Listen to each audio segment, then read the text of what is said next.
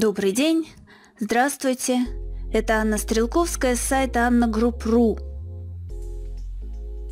И сегодня я хочу вам рассказать кое-что интересное.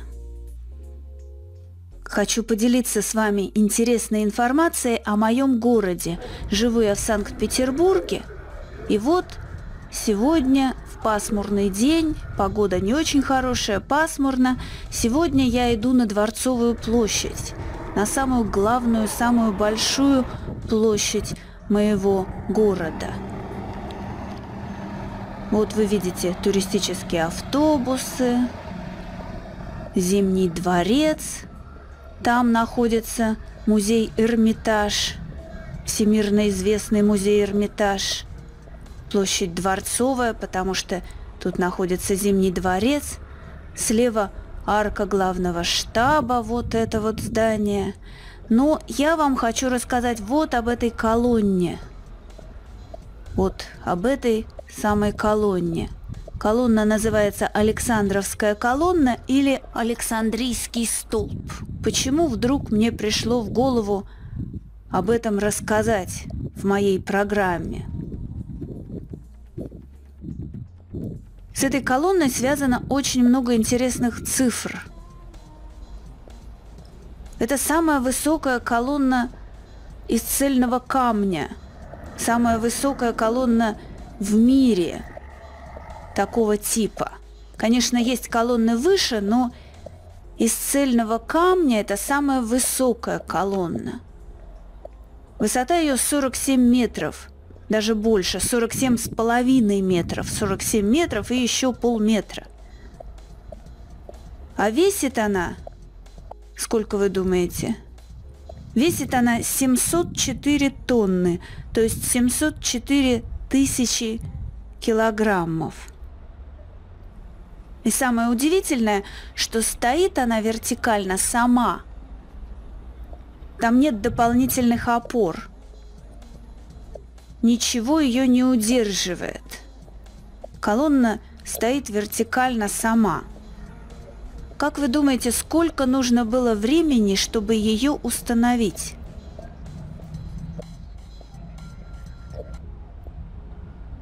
Один час сорок пять минут.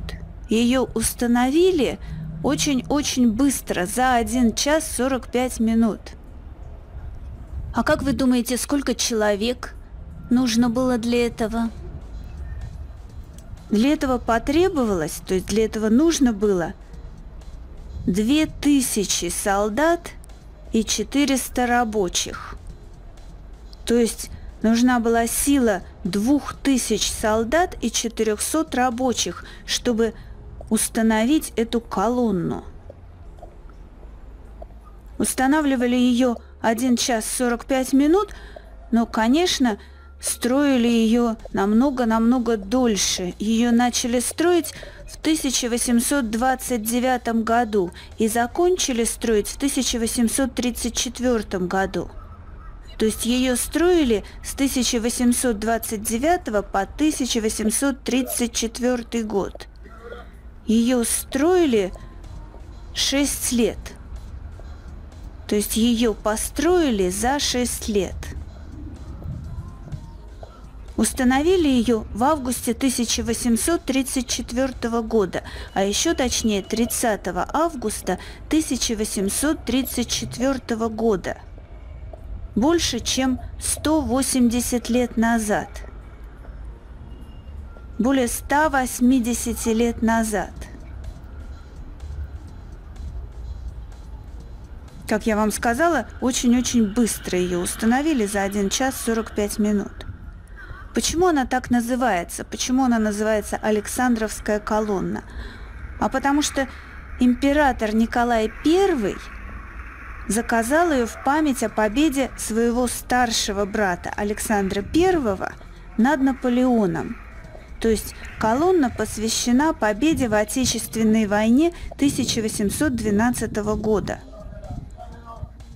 Создана она была архитектором Монферраном, то есть архитектор Монферран создал эту колонну, создал этот памятник. А наверху вот вы видите ангел, и у этого ангела черты лица императора Александра Первого. В левой руке у ангела крест, в левой руке ангел держит крест, а правую руку он поднял наверх, поднял к небу. И говорят, что сначала, сразу после постройки, то есть сразу после того, как колонна была построена, люди боялись гулять около нее. Поэтому сам архитектор Монферран каждое утро начинал с прогулки возле колонны. Он каждое утро гулял около колонны. Еще интересно, что после революции, после революции 1917 года, ангела хотели закрыть. То есть хотели, чтобы его не было видно. Но это не получилось, не смогли это сделать. После смерти Ленина хотели заменить ангела фигурой Ленина. То есть хотели, чтобы наверху был не ангел, а Ленин. К счастью, сделать это тоже не смогли. Тоже не удалось это сделать.